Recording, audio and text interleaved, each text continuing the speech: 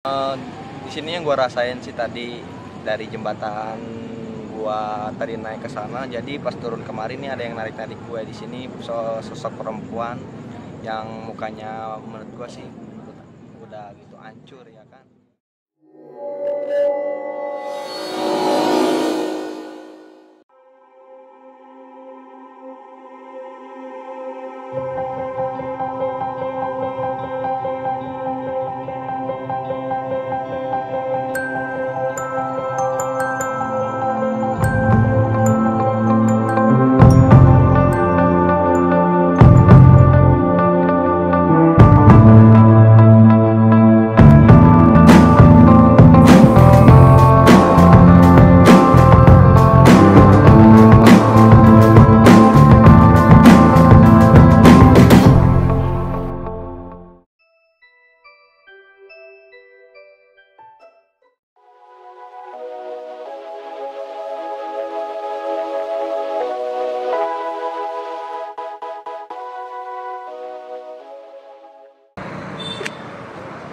Halo guys, pada malam hari ini gue akan mengunjungi taman lagi seperti sebelumnya di kota Tangerang.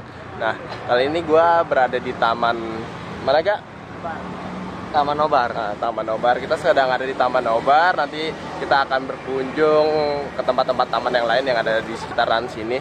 Nah, tentu dengan tema sama sep- seperti sebelumnya yaitu kita jalan-jalan ceritanya sambil membahas sesuatu yang tak terlihat itu.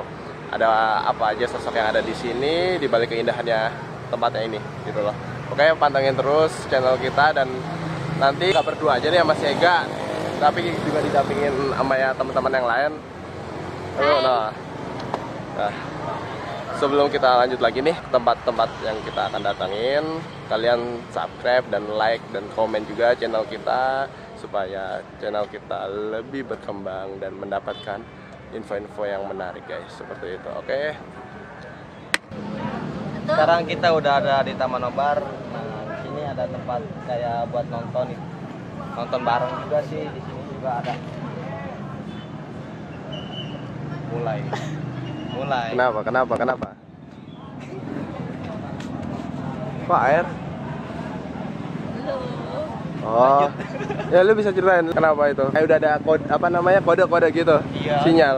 tuh gua dikincin Di sebelah sini. Nah, ini kalian bisa lihat guys. Nah, di sini tuh ada ada ada pohon. Lihat nih. Nah, jadi gimana kayak? Jadi gimana? Iya baru mau ngejelasin aja udah ada yang gak senang sama gue Nah, itu tuh kira-kira eh, sosoknya seperti apa?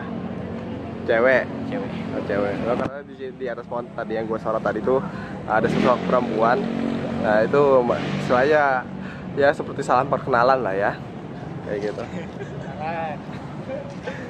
lanjut Oke kita lanjut lagi. Nah di sana itu ada ada jembatan di sana itu jembatan baru yang yang memang dikhususkan untuk sebagai wisata baru di kota Tangerang ini. Nanti kita akan ke sana. Tempatnya bagus banget.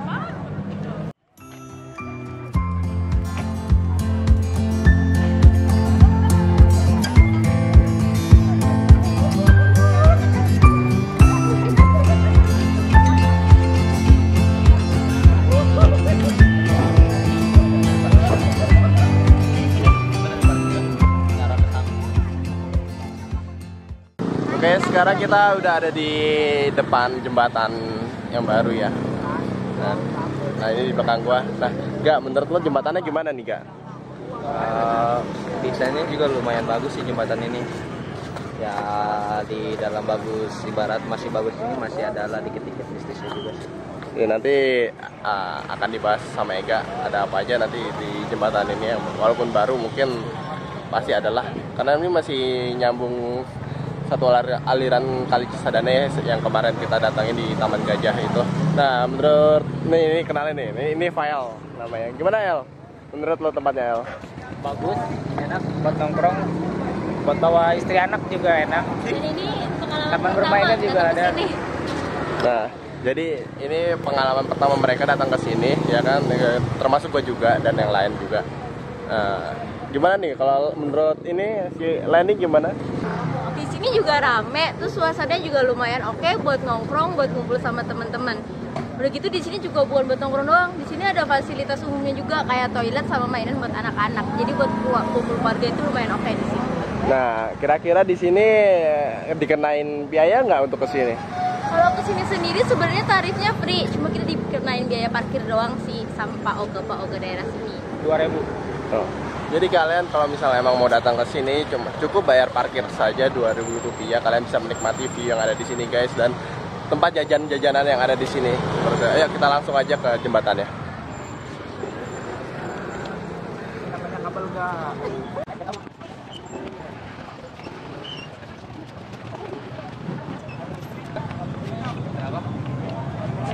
Ini buat mana tisu free motor ya. Free motor free motor. Apa? Kalau bahasa. Ya. Oh jadi di sini sebenarnya bisa nggak dipakai dipakai buat jalan motor? Kalau setiap hari di sini tuh sebenarnya bisa buat dimasukin motor, buat tapi malam kalau minggu. buat malam minggu sama kayak gini tuh udah nggak bisa di sini. Di sini juga lumayan rame loh. Di sini salah satu ikonnya Tangerang yang baru. Soalnya di sini tuh ada kayak ikon jembatan kaca gitu.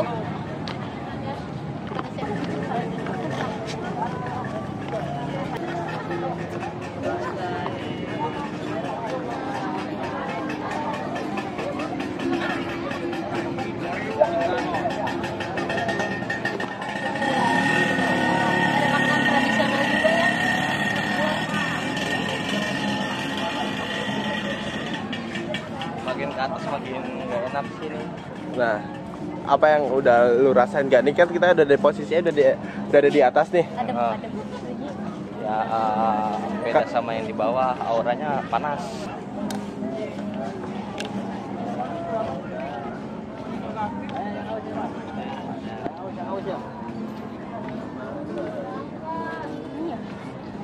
Nah, di sinilah posisi kaca itu guys, cuman lagi ramai. Jadi gimana Lan?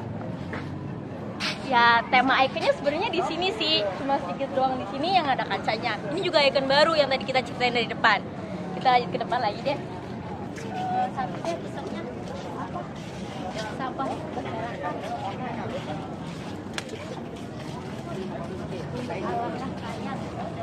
Ya pesannya jangan buang sampah sembarangan aja deh. Iya, kalian bisa lihat di sini banyak ba- banyak banget sampah ya. Sangat disayangkan sekali. Dan ini jembatan ini terbilang sangat baru. Cuma sampahnya banyak sekali. Ya nggak tahu juga sih, tapi oh ya ternyata ada penjaga kebersihannya di sini.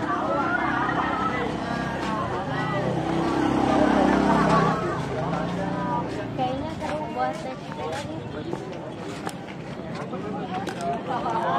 Gak, gimana? Lu udah ngerasain apa di sini atau emang nggak ada sosok sama sekali di sini? Kalau di sini sih nggak ada paling gua ngambilnya paling bawah. Banyak kalau paling bawah. Dan nanti kan kita akan ke bawah jembatan ini. Dari situ nanti ntar saya jelasin apa ada yang ada di situ aja. Nah, kalau di sini nggak ada, kalau di sini. sebenarnya di sini ada tapi kebanyakan kan kebanyakan sinar apa?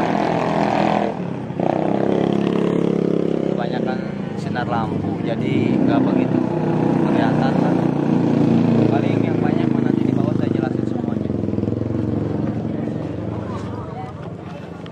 seperti yang dijelasin sama Ega tadi. Kalau di sini tuh nggak ada sosok sama sih. Kayak nggak ada sosok sih artinya interaksi mereka kurang ke kita. Karena eh, emang kondisinya sekarang itu lagi rame banget dan kondisi pencahayaan juga sangat terang sekali di sini. Jadi untuk eh, interaksi sosok mereka itu jadi kurang. Mungkin di sana di bawah sana itu ada ada seperti taman lagi. Nah di situ gua rasa sih eh, interaksinya memang cukup bagus di sana. Nanti kita akan ke sana. Interaksi seperti apa yang kita dapat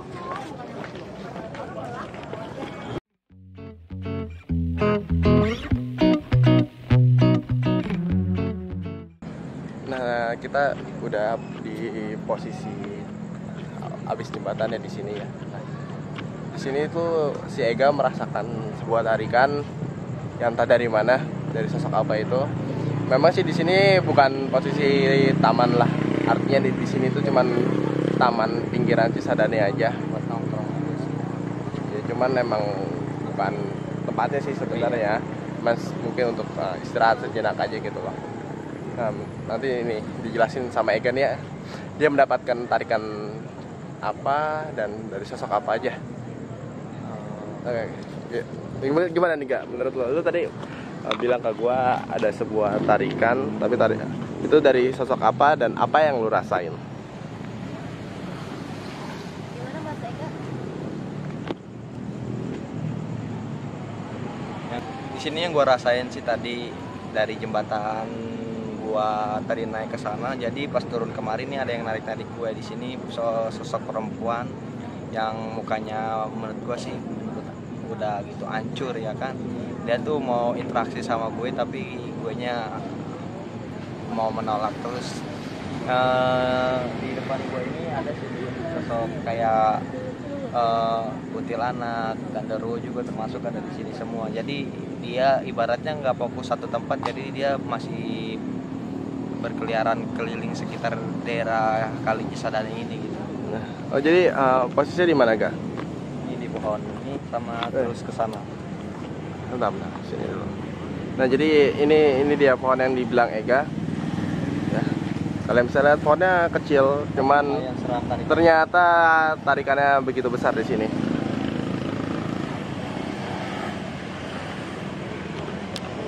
Ya, jadi di sini tuh ternyata ya di pohon kecil, pohon kecil ini ternyata banyak apa?